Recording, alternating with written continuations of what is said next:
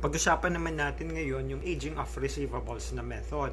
Ang emphasis kasi pagdating sa aging of receivables is yung allowance for doubtful accounts. Hindi dito natin emphasis yung income statement which is your um, expense account, your doubtful expense account or kung ano man yung gusto mong gamitin dito, mapa uncollectible accounts man yan or mapa bad debts so that itong allowance, uh, itong aging of receivables is our balance sheet approach. Now, diretso na tayo sa problem sa illustration natin number 1. Yung illustration na ito, similar ito sa aking binigay na example sa percentage of sales method. Yun nga lang, may konting additional information at may tinanggal ako para lang ano, uh, maging appropriate siya, maging akma, maging angkop, o ano pa yung Tagalog natin sa appropriate doon sa aging of receivables na method. So, once again, during 2019, si Company A nagkaroon ng net credit sales for the amount of 600,000. Yung accounts receivable niya and allowance for uncollectible accounts as of year-end ay and 200 100,000 and 2,000 pesos respectively.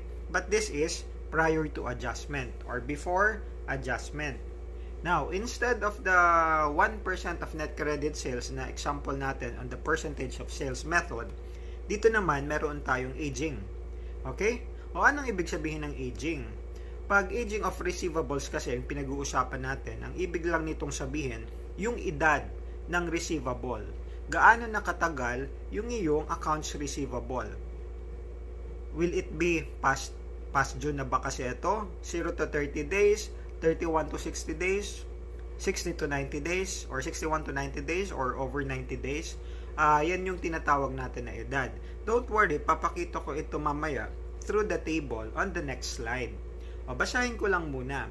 Ang 100,000 mo kasi na accounts receivable ay nahahati sa dalawa. 40,000 daw ng accounts receivable mo ay ang edad 0 to 60 days. And the rest are over 60 days. An allowance equal to 2% of accounts age 0 to 60 days and 10% of accounts age over 60 days is needed. O dito kasi kailangan nating ipaghiwalay or i-break down yung accounts receivable the balance mo kasi magkakaiba sila ng percentage of uncollectible. Remember, when we are dealing with allowance for uncollectible accounts, this is estimates. And yung estimates natin based on previous years or based on judgment. So, hindi ito accurate, no? Um, based on history kasi, past history ng company, may mga accounts na hindi na nakokolekta. So, we deem, uh, we put certain accounts receivable, a percentage of them as uncollectible. Deemed uncollectible. Because, based on prior history, no? may mga hindi talaga nakokolekta. So, nagiging conservative lang din yung company for that purpose. Now, oh, ito yung table na ipapakita ko na sa inyo. Yung 0 to 60 days, oh, 400, uh, 40,000 times 2% kasi yung percentage uncollectible. Ang uncollectible account mo dyan ay 800 pesos. Dito naman, oh, 60,000 times 10%, you will get 6,000 pag inad natin itong dalawa, ang total mo ay 6,800. However, okay, unlike doon sa ating percentage of sales, na kung ano yung nakuha mo, yun yung adjusting entry natin na debit natin sa doubtful accounts expense and then i-credit natin sa allowance for doubtful accounts. Dito, kung ano ang makukuha mo na amount, yung 6,800, ito dapat yung magiging balanse ng iyong allowance for doubtful accounts. So kung meron kang initial balance, o in this case, meron tayong initial balance of 2,000 pesos for your allowance for doubtful accounts or allowance for uncollectible accounts, kailangan natin yung ibawas. O 6,800 minus 2,000, ang adjustment lang natin dito ay 4,800. Ngayon, ito yung i-journalize natin. Kasi, o oh, ayan, debit sa doubtful accounts expense for 48 and credit sa allowance for doubtful accounts na 4,800. Pag ginawan mo kasi ito ng T accounts, ang allowance for doubtful accounts, ang normal balance natin dito ay O, credit, no? May 2,000 ka doon. Para makadating ka sa 6,800, magdadagdag ka ng 4,800 pesos. Kaya, eto lang yung ating ginagawang adjusting entry. Can you follow? Okay, so let me know if you have any question dito, ano? Kung meron man, lagay nyo lang sa comment section. Now, proceed tayo sa illustration number 2. O, dito naman, medyo similar lang din ito, pero yun nga lang, unlike doon sa previous example, may konting modification akong ginawa. Like for instance, this is for company C, na yung total sales niya ay 2 million. 70% of which represents sales on account. Prior to adjustment, the balances of the accounts were as follow. Uh, AR mo daw, 200,000. Yung allowance for uncollectible accounts mo, 3,000. Yung uncollectible accounts expense mo ay 6,000 pesos. Oh, eto naman yung edad nila, yung aging, ano? The following are the ages and corresponding percentage uncollectible of the accounts receivables. Yung mga accounts receivable daw, na yung edad ay 0 to 30 days, 3%. 100,000 pesos. And then, 31 to 60 days, 45,000. 61 to 90 days, o 30,000 pesos. And over, over 90 days, 10% para doon sa remaining balance. And remember, 200,000 yung total na accounts receivable mo. Pag ginawa natin itong table, ganito yung kakalabasan niya 0 to 30, oh, 100. 31 to 60, 45. 61 to 90, 30,000. Yung over 90 days ko is yung difference ng 200,000 less, ayan, etong tatlo na ito. Kaya, makukuha mo dito ay 25,000. 100 plus 45 plus 30, that is 175,000. Minus 200,000, kaya meron kang 25,000. O, pag kinompute natin yung mga percentage uncollectible na 3, 5, 7, and 10%, you will get the following figures.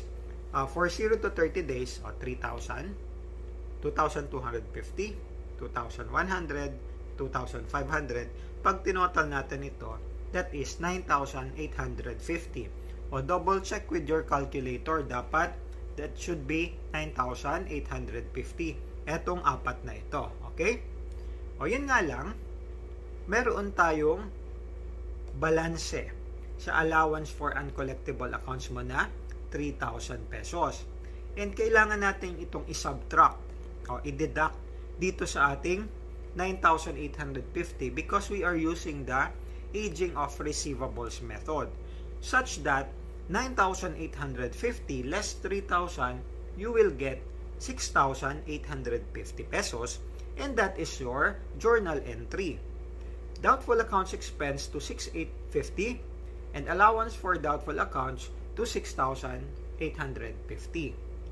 Oh, by now, dapat nako-compare nyo na ano yung difference ng percentage of sales versus yung aging of receivables. Kasi doon sa percentage of sales, kung ano yung na-compute nyo, yun na yung journal entry ninyo. Oh, let's go back here sa ating mga T accounts. Yung illustration number 2. Okay, using illustration number 2. Para ma-emphasis, mabigyan naman natin ng emphasis yung ibang mga balanse.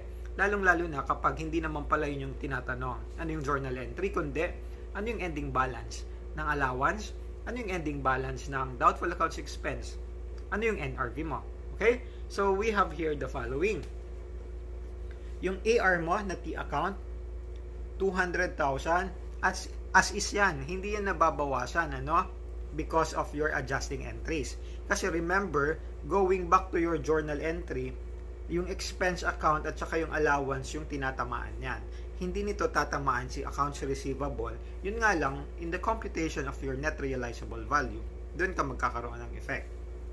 Yung allowance for doubtful accounts mo, ang beginning balance na prior to adjustment is 3,000 nadagdagan ka ng 6,850. Therefore, ang adjusted balance ng allowance account mo ay 9,850. And that is what we computed using the table. Okay? Pagdating naman sa doubtful accounts expense, you have the beginning balance of 6,000. Tapos, O 6,850 yung na-compute naman natin. Then we have 12,850.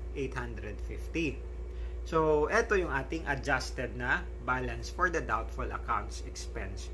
So, pag ang tinanong, what is the adjusted balance of your doubtful accounts expense? The answer is 12,850. Pag ang tinanong, what is the increase in the doubtful accounts expense? O yung increase daw yung tinatanong, which is your journal entry, yung adjusting entry mo. So be very careful doon sa tinatanong. Hindi porket madali lang ito para sa iyo at alam mong computin, eh petics ka na lang. Kailangan i-assess mo, alamin mo mabuti, i-analyze mo yung problem para hindi masayang yung score mo. Oh, going to the next computation, yung net realizable value, which I have mentioned in the previous episode. Sinampulan natin pero wala nga lang slide. O dito, binigyan ko na kayo ng table.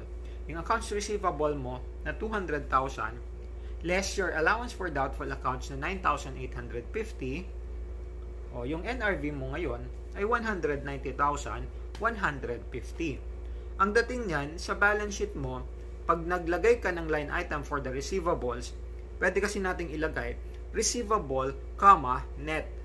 For the amount of 190,150 parang minsan ano for presentation purposes, nilalagay natin yung equipment net. Hindi na pinapakita yung um, accumulated depreciation. Diyan kasi pumapasok yung ating mga notes to the financial statements na malalaman nyo naman pag nag-proceed kayo sa mga higher accounting. Pag nag-specialize kayo doon sa mga discussion on the notes to the financial statements. So guys, if you have any question with my discussion today, citing or specifically discussing yung aging of receivables, please let me know. And I hope marami kayong natutunan or may panibago na naman kayong natutunan sa aking episode na ito. And I'll hope to see you around on, the, my, on my upcoming episodes. Once again, thank you and bye-bye.